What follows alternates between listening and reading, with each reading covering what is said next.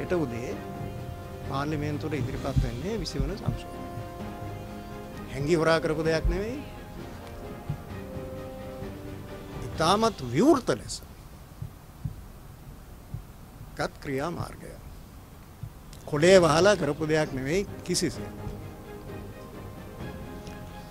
දැන් මේ විසවන සංශෝධනය ගැසට් කරන්න යෙදුනේ සැප්ටැම්බර් දෙවනදා. එතොට අපේ ආණ්ඩුක්‍රම ව්‍යවස්ථාව හා නීතිය යටතේ දවස් දා හතරක් යනතුරු ඒක පාලිමෙන්තුවේ න්‍යාය පත්‍රයට ඇතුළත් කරන්න බෑ. දින දාහතර සති දෙක. ඒක ගත වුණ සෙප්ටෙම්බර් දාසය. ඒ අනුව සෙප්ටෙම්බර් දා හත්වනදා විසිවන සංශෝධනය පාලිමෙන්තුවේ න්‍යාය පත්‍රයට ඇතුළත් වන. සෙප්ටෙම්බර් දාහත.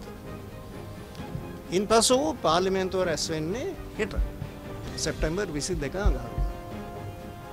එකට සෙප්ටෙම්බර් විසි දෙක අඟහරුවාද අපි මේ විසිවන සංශෝධනය පාලිමෙන්තුර ඉදිරිපත් කරන. ගරු අධිකරන ඇමතුමා. ඒක තමයි පළවෙනි කියවී. පාලිමෙන්තුවේ ක්‍රියාපරිපාටි අනුව පළවෙනි කියවීම හැටියට සැලකෙන්නේ හිට මේක පාලිමෙන්තුව ඉදිරිපත් කිරීම. ඉන් පසු සතියක් තිබෙනවා විරෝධතා ගොුණු කිරීමට ශ්‍රේෂ්ඨාධිකරණය. අපි හෙට ඉදිරිපත් කරන්න විසිවන සංශෝධනය අභියෝගයකට ලක් කරමින් ඕනෑම පුරවැසයකොට අයිතිවාසිකමත් තියෙනවා ශ්‍රේෂ්ඨ අධිකරණට යන්න ඒ කාල සීමාව තුළ දවස් හතයි. ඉන් පසු ශ්‍රේෂ්ඨාධිකරණයට තිබෙන උපරිමය සති තුනක්. ඒ විරෝධතා ඉදිරිපත් කරන පාර්ශ්වකරුවන්ට සවන්දීලා හා මැදහත්කරුවන්ට සවන්දීලා ශ්‍රේෂ්ඨාධිකරණයට සිදුවන උපරිමය සති තුනක් තුළ ශ්‍රේෂ්ඨාධිකරණය නිගමනය අතිකරු ජනාතුමාටත් ගරු කතානායකතුමාටත් දැන්න. සති තුනම ගන්ට ඔන්නෑ හැබැයි උපරිමය සති තුනයි.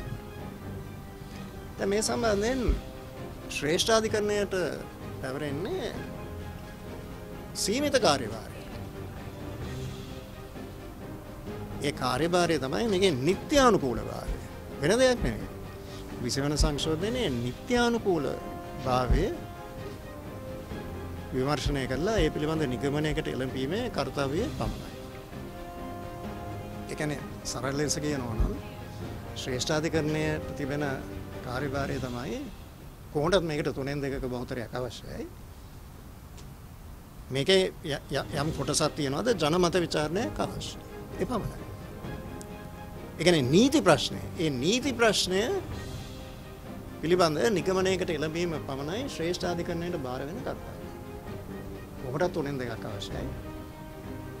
අපි මේක බොහොම පරීක්ෂාකාරීව හදපු දෙයක්. breaking.lk